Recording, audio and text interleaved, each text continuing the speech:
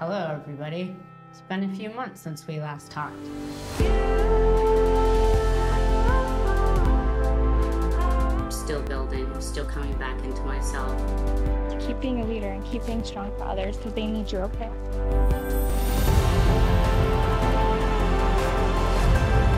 Just because you're bent doesn't mean you're broken. It's time to go global.